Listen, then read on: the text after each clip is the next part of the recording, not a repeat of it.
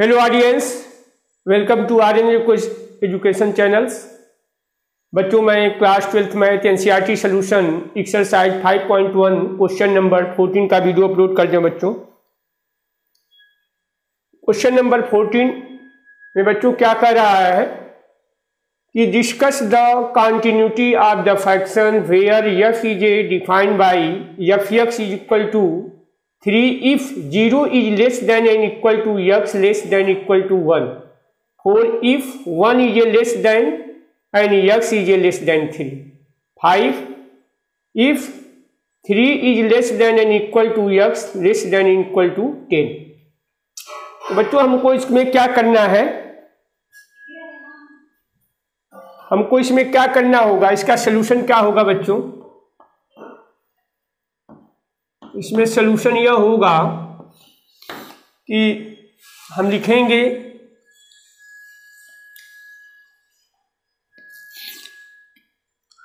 if k to be k to be any real number k to be any real number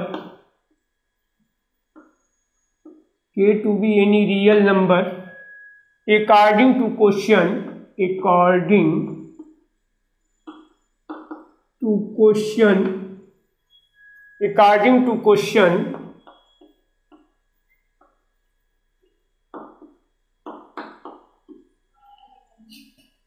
zero is less than zero is less than and equal to x less than one one या x is equal to x is equal to one. यहाँ पे बच्चों हम लिखेंगे zero is less than and equal to. यहाँ पे zero के जगह पे, प्लेस पे हम लोग लिखेंगे के k is less than and equal to one. And और यहाँ पे होगा बच्चों zero is less than and equal to k less than equal to one and k is equal to one. यहाँ पे बच्चों यक्स ही है, ज़ीरो यहाँ पे यक्स सही है यक्स है। यक्स इज़ ए होगा x is less than equal to one and x is equal to one.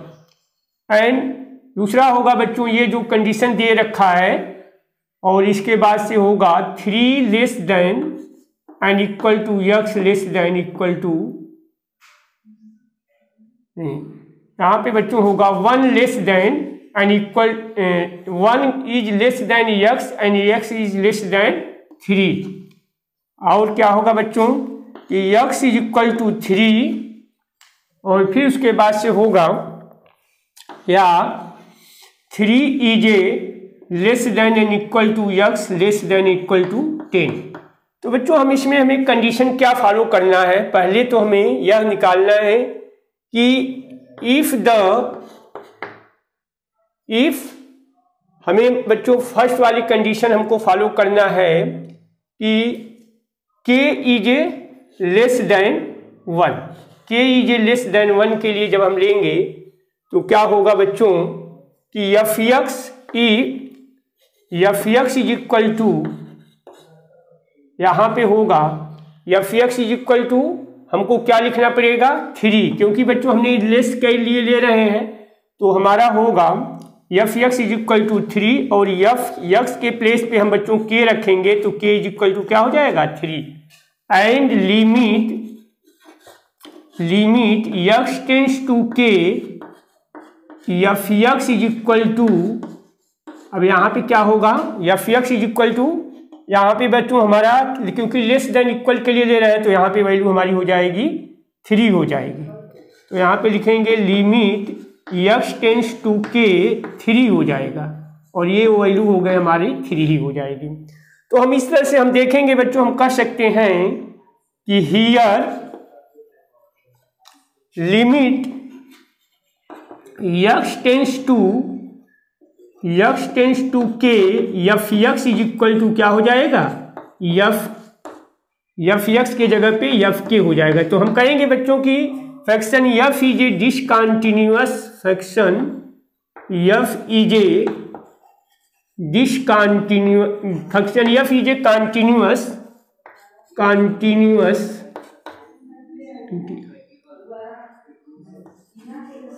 continuous x is a continuous क्या होगा?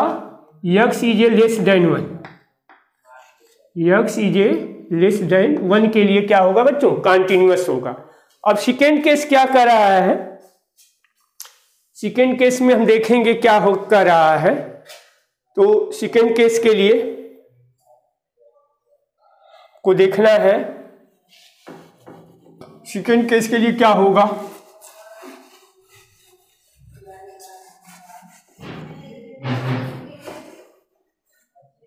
सेकेंड केस के लिए बच्चों, हमारा क्या होगा? सेकेंड केस के लिए हम लिखेंगे तो हमारा हो जाएगा के इज़ इक्वल टू वन के लिए लेंगे बच्चों। के इक्वल टू वन के लिए लेंगे।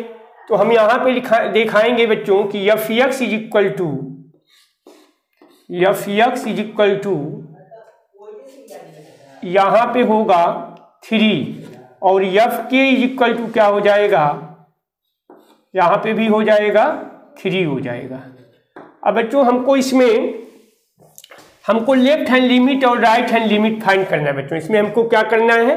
Left hand limit and right hand limit left hand limit क्या हो जाएगा? Left hand limit is equal to limit x tends to x tends to one plus हो वन माइनस होगा बच्चों। तो यहाँ पे यक्स इज़ इक्वल टू लेंगे तो क्या होगा?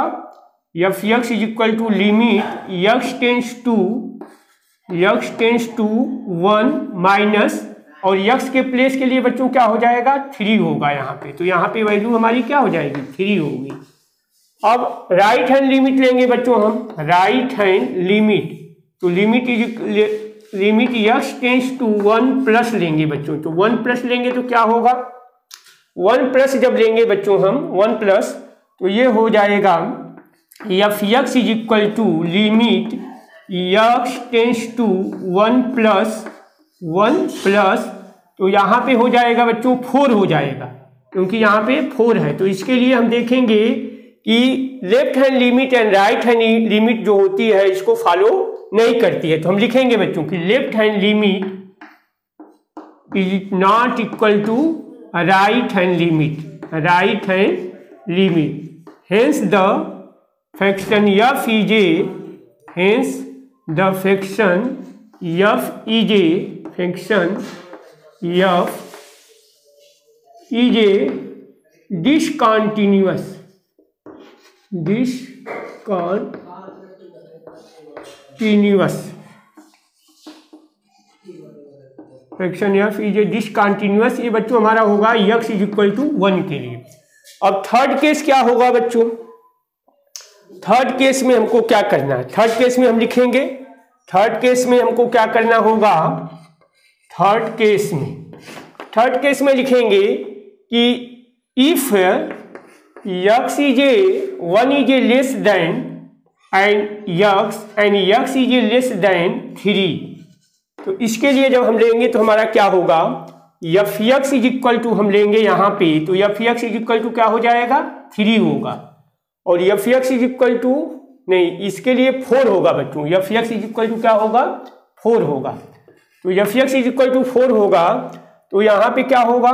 के के लिए जब लेंगे तो क्या हो जाएगा? यफ के इज़ इक्वल टू भी हमारा क्या होगा? फोर हो जाएगा।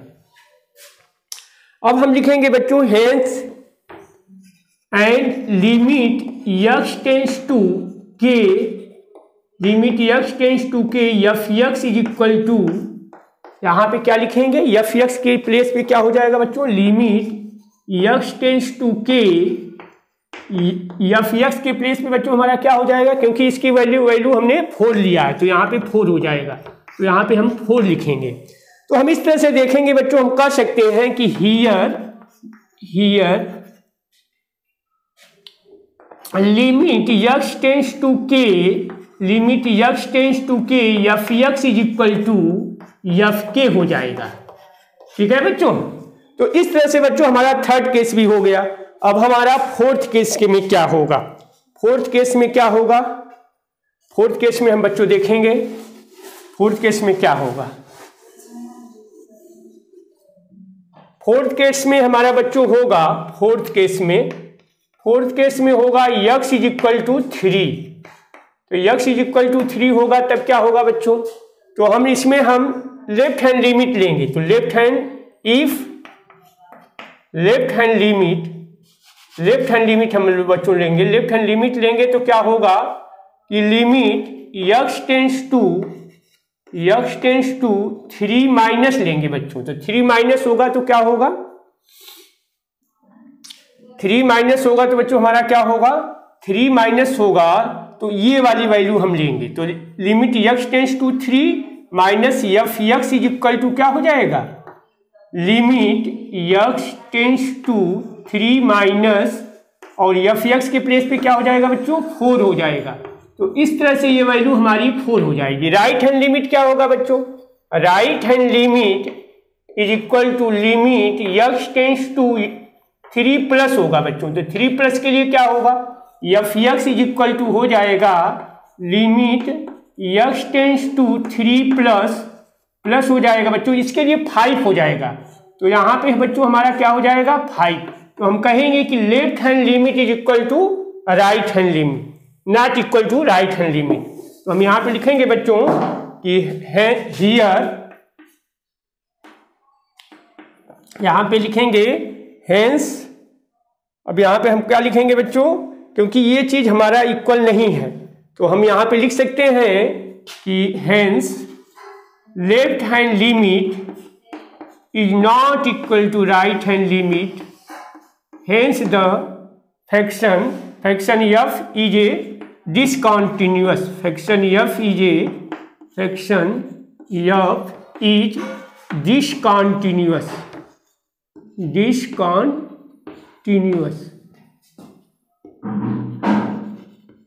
fraction f is a discontinuous किसके लिए होगा? X is equal to three के लिए। अब हमारा है fourth case fourth fifth case क्या होगा बच्चों? फिफ्थ केस के लिए हमारा क्या होगा? फिफ्थ केस के लिए फिफ्थ केस के लिए हमारा क्या होगा? फिफ्थ केस फिफ्थ केस में हमारा बच्चों होगा, ये है, क्या है? कि if if three is a less than and equal to x is less than equal to ten तो हम यहाँ पे लिखेंगे कि लिमिट या फियक्स f x is equal to अब इसके लिए हम फाइव लिखेंगे बच्चों। तो ये होगा यस के प्लेस पे क्या होगा? के तो के के लिए क्या हो जाएगा? फाइव होगा। अब लिखेंगे लिमिट यक्स टेंस टू के f x is equal to अब यहाँ पे हमारा क्या होगा? Hence limit x tends to f x is equal to क्या हो जाएगा? अब यहाँ पे हम यहाँ पे भी किसके लिए लेंगे बच्चों? यक्स के लिए लेंगे। तो यक्स के लिए भी हमारा क्या होगा? फाइव हो जाएगा। तो हम इस तरह से हम देखेंगे बच्चों, हम कह सकते हैं कि here limit x tends to के f x is equal to f के हो जाएगा। तो हम कह सकते हैं कि function f is function f is continuous function f function f is continuous function f is a con function f is a continuous continuous x a क्या होगा? Function f is a continuous होगा। किसके लिए होगा हमारा इसके लिए होगा, किसके लिए? Three is less than and equal to जिससे function f is a continuous होगा। तो हम इस तरह से हम कह सकते हैं, बच्चों, कि हमारा कौन कौन के लिए कॉन्टिन्यूस होगा, किसके लिए डिसकॉन्टिन्यूस होगा? तो हमारा थ्री और फाइव के लिए जो होगा वन और थ्री के लिए। हमारा क्या होगा? वन और थ्री के लिए हमारा फ्रैक्शन क्या होगा?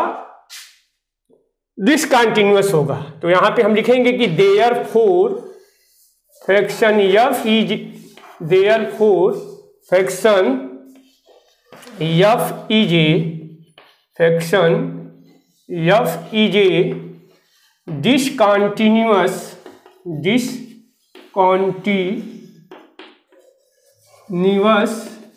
x is x is equal to one and x is equal to three के लिए हमारा डिसकंटिन्यूस होगा और सभी के लिए हमारा क्या होगा? कंटिन्यूस होगा। तो मेरे प्यारे बच्चों, यदि आपको यह क्वेश्चन समझ में आ गया होगा तो आप मेरे चैनल को सब्सक्राइब करिएगा बच्चों।